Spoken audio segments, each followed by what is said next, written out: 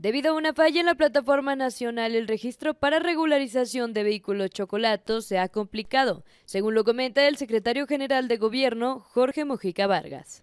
Que se pretende en okay, este Ahora, una cosa es el registro y otra es el plaqueo, porque a veces no completan el trámite.